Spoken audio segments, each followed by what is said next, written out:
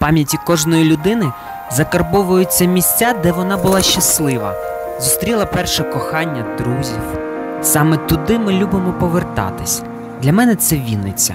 Кожен раз у цьому місті я відмотую назад десятки років і відчуваю себе безтурботним закоханим студентом. Я пропоную вам сходити зі мною на побачення з моєю давньою знайомою. Сьогодні йде дощ, і ми з Вінницею залишилися наодинці, щоб неквапливо прогулятися по затишним вулицям найкомфортнішого міста України, що отримує цей статус вже багато років поспіль. Вінниця потрохи приміряє на себе статус туристичного центру, в якому є принади, характерні для Дубаї і Єгипту. Таємничі підземелля, де можна зробити селфі з привидом, приховані замки та музейні шедеври. Тільки у цьому місті ви за день зможете побувати у Кореї, на Парижі, на Кубі. Є тут своя Єрусалимка і навіть царське село. Історія міста над Бугом, ймовірно, почалася ще у 14 столітті з невеличкого форпосту литовських князів.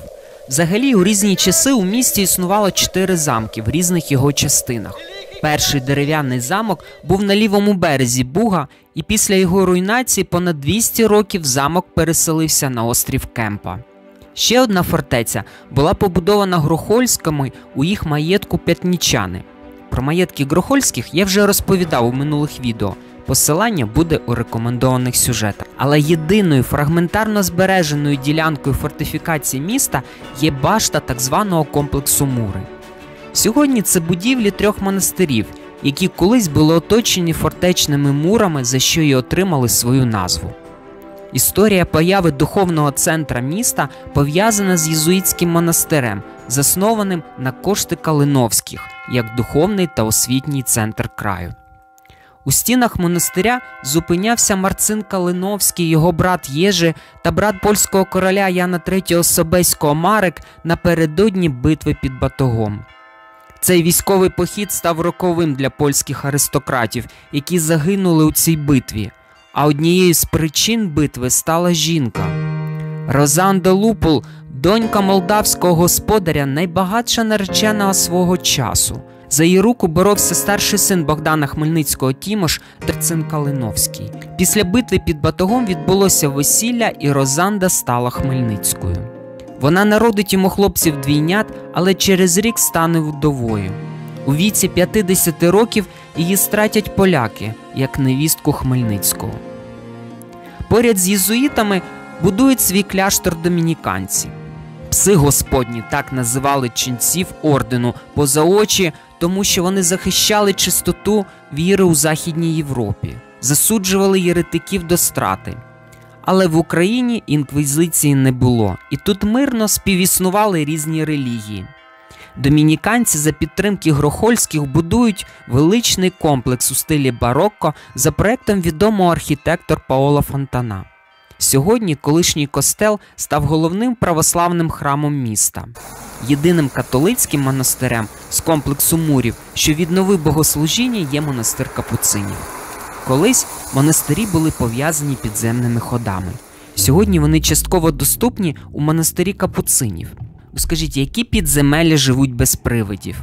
Вінницький привид особливий. Він нікому не шкодить і навіть дозволяє зробити селфі разом. Привид це дух монаха Шимона, який звалився у чан з пивним суслом, зазнав страшних опіків і за місяць страждань пішов до кращого світу. Цікаво, що про Вінницькі підземелля ходять чимало легенд, зокрема про наявність підводних ходів, прокладених під дном Південного Бугу до острова Кемпа. Є плани перетворити підземелля на туристичні об'єкти, а поки ж Вінницькі підземелля живуть власним життям. Часом, виходячи назовні, поступово руйнуються або перетворюються не на обліковані підвали приватних будівель. На території колишніх мурів сьогодні знаходиться краєзнавчий та художній музеї. В останньому експонується частина скарбів найбагатшої резиденції Потоцьких, що знаходилась у місті Тульчин, про пам'ятки якої я теж розповідав на своєму каналі. Поряд з католицькими монастирями у 17 столітті існував православний Вознесенський монастир, який відігравав також знакову роль в історії міста. У цій святині перед битвою облаштувався Іван Богун перед так званим льодовим побоїщем, в якому загинуло багато поляків, що потрапили в ополонки у річці, присипані соломою відступаючими козаками. Згодом польське військо було розбите підмогою Хмельницького, а у монастирі відкрито колегіум.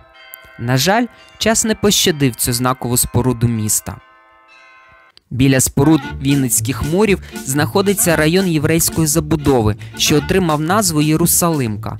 Він і досі зберігає аутентичну забудову 19-го початку 20-го століття. Спорудження в 1871 році Києво-Балтської залізниці перетворило Вінницю в один з економічних центрів Поділля. Місто забудовується ошатними будівлями, багато з яких проєктував архітектор Григорій Артинов. Найбільш ефектною спорудою міста є колишній готель Савой, який на початку ХХ століття виконував роль кабінету міністрів УНР. Цю помпезну споруду у стилі модерн почали зводити у 1912 році. А вже за два роки тут відкрився ресторан та готель, який, за згадками сучасників, за комфортом не поступався відомим столичним готелям. 2 лютого 1919 року, внаслідок подій Другої українсько-більшовицької війни, директорія Української Народної Республіки на чолі з Володимиром Вінниченком переїхала до Вінниці. Місто на місяць стає тимчасовою столицею УНР, а готель Савой стає де-факто будівлею Кабінету міністрів. Адже усі апартаменти міністрів зосереджувалися саме у цій будівлі. Поруч на європейській площі знаходиться візитівка міста Червона Вінницька башта. У 1912 році за проектом Григорія Артинова в центрі міста була зведена водонапірна вежа, що поєднувала функції пожежної каленчі, для цілі якої був пристосований верхній ярус споруди. Перший водогін у Вінниці, роботу якого забезпечувала башта, мав протяжність майже півтора кілометра. Він живився водами Південного Бугу і по залізним трубам поставчав відфільтровану відстояну воду на територію міста. Переживши усі лихоліття ХХ століття, башта стала головним символом міста.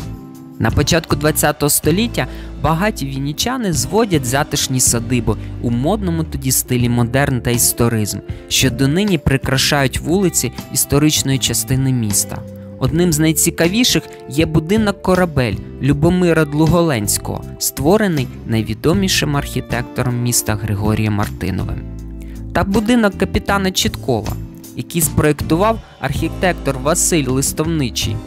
Цікаво, що архітектору належав легендарний будинок на Андріївському узвозі 13, в якому орендував житло Михайло Булгаков.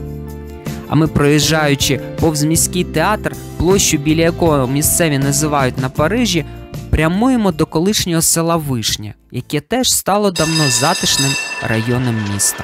Головною цікавинкою цього спального району міста є колишня садиба та усипальня всесвітньо відомого лікаря Миколи Пирогова. Відвідини усипальне Пирогова давно стало вже мас-сі для всіх туристичних груп. Відвідувачів приваблює постать легендарного лікаря зі світовим ім'ям, винаходами якого досі користується сучасна медицина, а також можливість побачити найстаріше забальзамоване тіло в світі.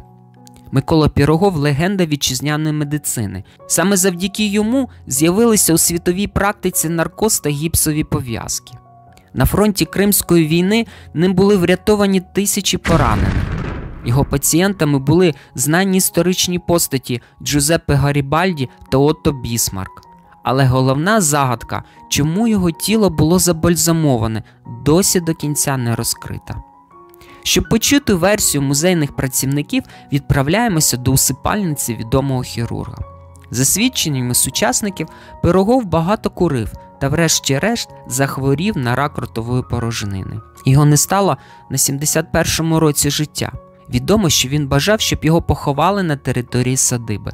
Але за законами Російської імперії, якщо садиба перейшла до іншого власника, тіло небіжчика необхідно було перепоховати. Це не влаштовувало дружину Пирогова, яка вирішила купити ділянку землі та побудувати там церкву усипальню, у якій була б крипта з похованням. Щоб тіло небіжчика дочекалось зведення споруди, вона звернулась до його учня Виводцева, який мав великий досвід бальзамування тіл. Але одразу постає питання, чому тіло Пирогова є найдавнішою мумією, коли бальзамування тіл померлих старе як світ. Так, бальзамування було відомо ще задовго до нашої ери і було розповсюджене серед багатьох народів світу. Однак методи були різними. Першими, як відомо, були древні єгиптяни. Проте, не дивлячись на різні способи бальзамування, завершувалось воно муміфікацією тіл. Мабуть, кожен чув про єгипетські мумії, однак тіло Миколи Пирогова не мумія, це забальзамований небіжчик, оболонка якого зберігає певну еластичність тканин. У давні часи бальзамування тіл померлих було пов'язане з релігійними мотивами. Люди вірили у переселення душ і сподівалися, що повернуться за якийсь час після смерті у своє ж тіло.